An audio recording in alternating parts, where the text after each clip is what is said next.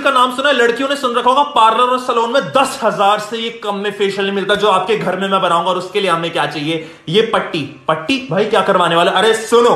देखो यार, हमें आधा ना संतरा लेना, उसको काट देना, उसका पूरा जूस निकाल देना। वो जो पील होगा ना, उसको अपने फेस पे एटलीस्ट दो मिनट के लिए रब करने लग जाओ, पूरा क्लीन हो जाएगा। वो जूस के अंदर आपको दो चम्मच दही डालना एक चम्मच ग्लिसरीन ये जो पट्टी है ना, इसको आप थोड़ा मिचोड़ दो इसको दबाओ और अपने फेस पे इस पट्टी से अपना सारा वो लगाना है। सूखेगा पाँच मिनट के बाद दोबारा लगाओ। ऐसा आपको चार बार करना है उसके बाद हाथ से मसाज करो और जब उतारोगे वो दस हज़ार वाले फेशियल का इफ़ेक्ट आएगा और इन्फॉर्मेशन चाहिए क्लिक करके फ़र्स्ट ऑप्शन ऋतिक रोशन जैसी बॉडी बनानी आप उनकी जुबानी सुन लो ना यार। सुबह सुबह उठ के वो क्या करते हैं? Six egg whites and some avocado तो यार ये एवोकाडो एक फ्रूट है, थोड़ा सा एक्सपेंसिव मिल सकता है बट उसमें नेक्स्ट लेवल प्रोटीन और कार्ब्स होते हैं आपकी बॉडी बनाने के लिए नेक्स्ट लेवल चीज़। एक आपको वो लेना हाफ़ करके वो खाना और सिक्स एग व्हाइट्स सिर्फ़ व्हाइट वाला पोर्शन इसके साथ साथ वो अपना पूरा चार मील भी बता रहे हैं। And after that my next four meals but यार फोर मील्स तो बताया नहीं, पूरी बॉडी सुननी है कि उन्होंने वॉर में कैसे बॉडी बनाई। ये क्लिक करके सेकंड ऑप्शन में पूरी वीडियो डाल। ये रही वो body Hrithik Roshan transform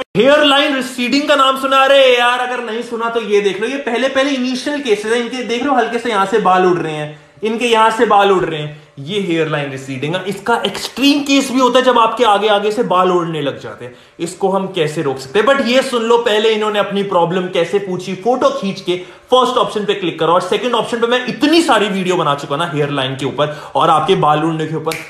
आप अपने प्रॉब्लम पे ना खुद वीडियो देख सकते हो। तो इस केस में हमें क्या करना विटामिन सी की गोली लेनी उसको चूरा चूरा कर देना उसके अंदर एक चम्मच कोकोनट ऑयल डाल के यहाँ पे सुबह सुबह लगाना और एक घंटे बाद उतारना है।